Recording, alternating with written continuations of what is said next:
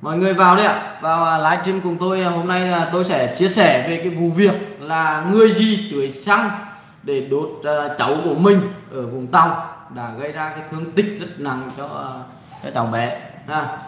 Đấy. Không biết uh, trong thời gian vừa qua thì uh, uh, trước tết cũng như uh, sau tết thì mọi người có gì uh, vui không ạ?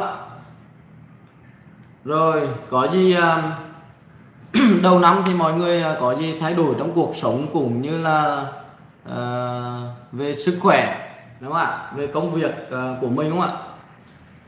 Mọi người có những cái thắc mắc gì thì có thể uh, lên ha chia sẻ cũng như uh, uh, tôi sẽ giải đáp cho mọi người nhé.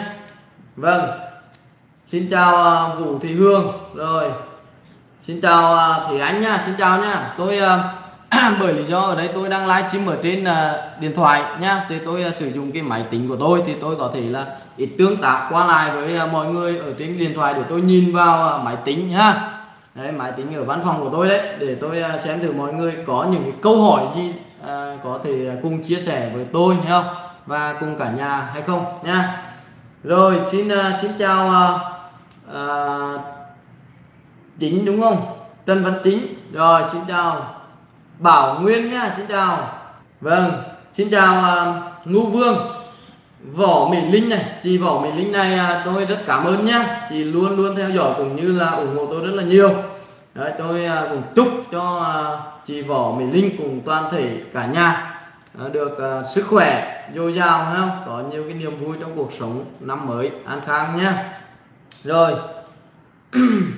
à, xin chào anh Nguyên. Rồi luật sư chào em đi ạ vâng xin cảm ơn anh Nguyên nhá. Rồi à, ủng hộ à, chúc luật sư tròn đi tròn đừng pháp luật.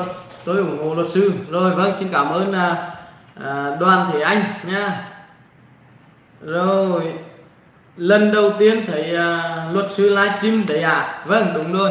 Thì à, tôi cũng à, muốn tương tác trực tiếp với mọi người đấy để à, xem thử à, cái việc mà tôi tương tác trực tiếp thì nó có à, tình cảm hơn không đúng không ạ? Có giải quyết được những cái thắc mắc về mặt pháp lý cho mọi người hay không? Bởi lý do thường thì tôi hay chia sẻ đúng không ạ? Làm những cái video. Đấy về mặt pháp lý để tôi chia sẻ cho mọi người thì nó tôi cảm thấy nó ít gần gũi với mọi người hơn. Đấy đúng không ạ? Đấy thì à, à, mọi người à, có những cái chia sẻ gì à, mới không ạ? Rồi xin chào anh à, anh Hoài nha.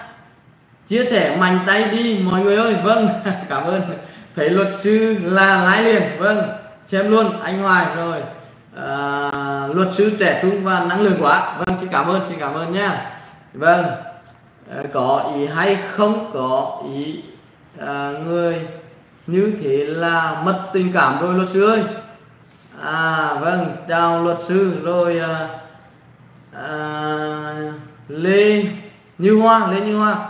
Chào luật sư đã trở lại. Mong luật sư có thể làm những video như trước kia nhiều hơn. Vâng xin cảm ơn.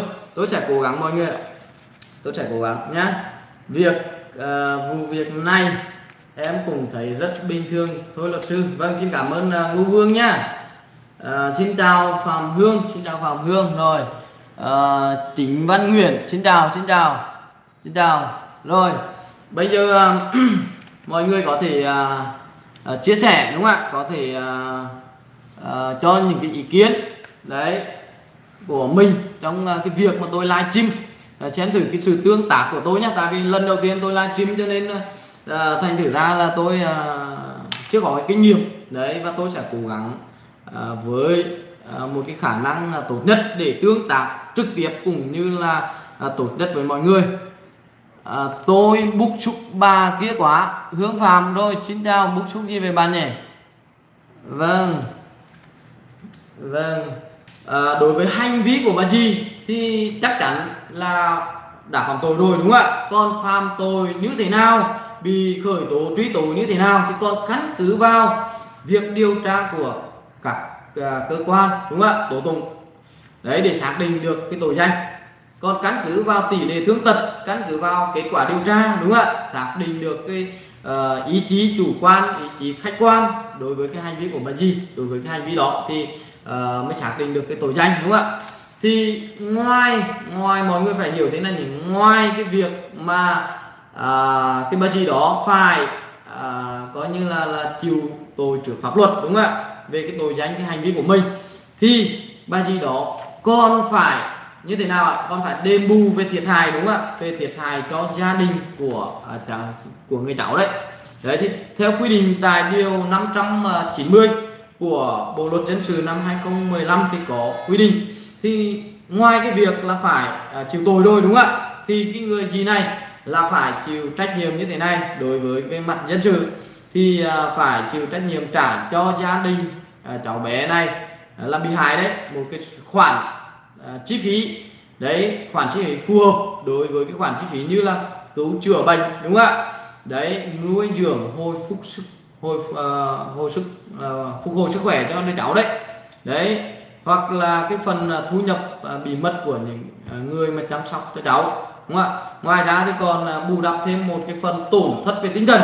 Thì đối với cái phần này á là hai bên có thể thương lượng với nhau nếu trong trường hợp mà hai bên không thương lượng được với nhau, thì có thể là khởi kiện ra tòa án để được giải quyết. Thì theo quy định của pháp luật, thì trong trường hợp mà bù đắp cái tổn thất tinh thần, thì không quá là 50 lần 50 lần ở mức lương cơ sở. Tại bây giờ, theo quy định là 1 triệu 490 ngàn, đúng không ạ? Đấy, và không quá 50 lần thì có thể là tầm cỡ khoảng à, trên dưới 70 75 triệu, đúng không ạ?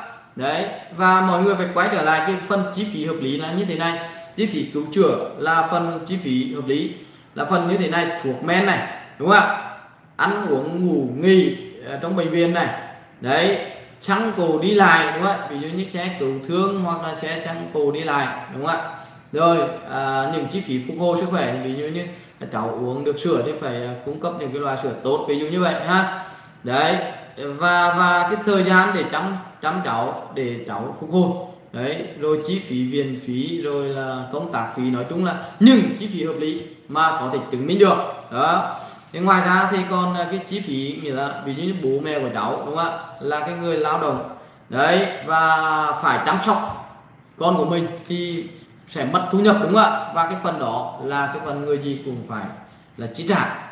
Rồi thì à, đối với cái phần à, công việc của à, cái vụ án này á thì mọi người cũng phải à, hiểu thế này đối với cái thông tin là có nhiều người họ chưa hiểu và còn thắc mắc đối với cái phần này.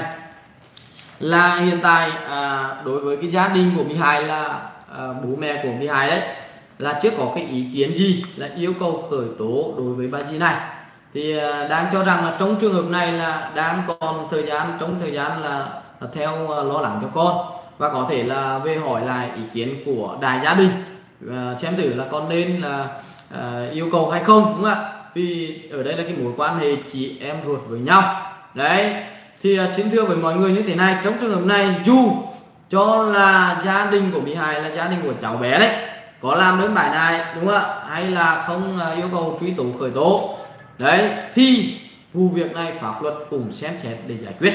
Bởi lý do trong trường hợp này là không thuộc vào cái điều kiện là khởi tố vụ án theo yêu cầu của bị hại nhé tôi xin nhắc lại như vậy. Rồi thì uh, chúng ta quay trở lại để tương tác một chút xíu nữa ha. Rồi cảm ơn à, anh uh, anh Hoài nhá. Rồi Tuấn thờ hồ em có việc cần tư vấn. Rồi Hương Sương chắc ăn cơm rồi vâng cảm ơn Hương chưa rồi. Ngọc Dung Lưu muốn được luật sư tư vấn thì sao ạ? À? rồi thì mọi người à, có thể à, điện thoại trực tiếp cho tôi nhé. Mọi người có thể điện thoại trực tiếp cho tôi thì tôi sẽ tư vấn những cái vụ việc cho mọi người nhé. Vâng.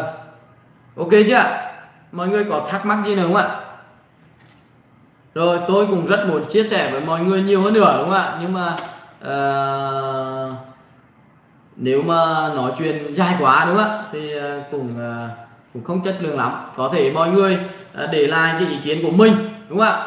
Cái nội dung vụ việc của mình ở phần uh, chia sẻ ở phần uh, coi như là bình luận để uh, lần sau video lần sau tôi có thể là chia sẻ cũng như tương tác với mọi người.